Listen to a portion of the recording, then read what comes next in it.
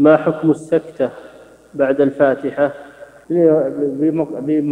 يعني بمقدار رجوع نفسه هذا مشروع. أما تطويل السكتة فهذا إنما فعله بعض العلماء من باب الاستحسان ليمكنوا للمأموم أن يقرأ الفاتحة لكن لم يثبت هذا عن النبي صلى الله عليه وسلم. ما ثبت عنه إلا سكتتان. سكتة بعد تكبيرة الإحرام. حتى يأتي بالاستفتاح. وسكتة بعد ما يفرغ من القراءة قبل الركوع.